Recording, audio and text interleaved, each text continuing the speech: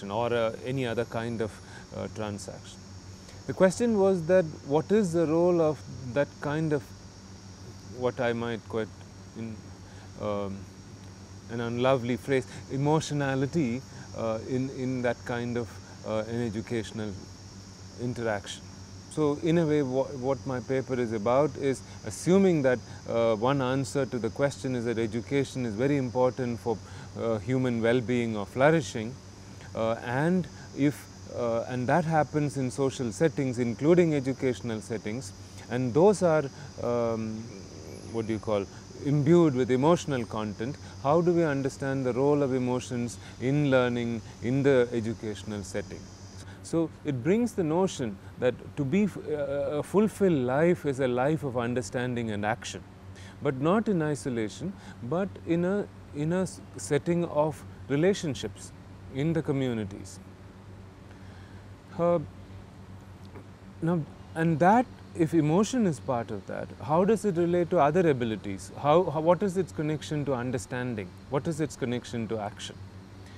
So, there is a history in education of defining understanding la largely uh, as rational understanding. So, my first uh, argument is that to be rational is also to be emotional. Now, that is because uh, emotions are multidimensional uh, phenomena which occur at multiple levels and there is no single way of understanding them, what I have called a reductive way of uh, explaining them at one level, right, or through one form of inquiry.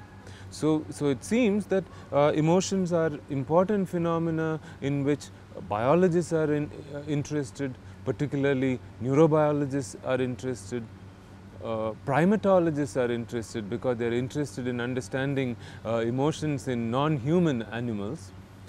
Psychologists are interested because emotions seem to have a mental content. They are also experiences and they have a mental dimension.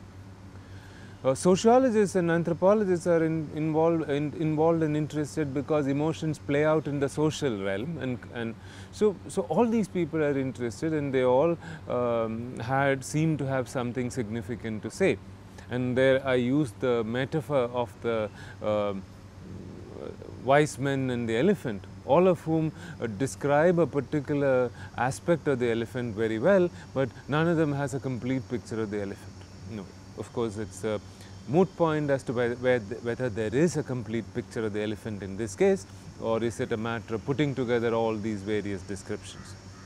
You can be very, very uh, irrational without, uh, uh, you know, uh, in a way, uh, even if you, if you keep emotion out of the picture, right. Uh, so,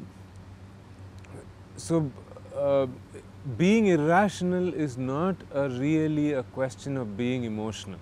So, so one is to become aware, for teachers to become aware of the way uh, their work and practice is influencing the students' emotional experience uh, in the classroom. Right? Third is to also think of um, schools uh, as uh, emotionally rich places. Therefore, uh, to we think of it as places um, of care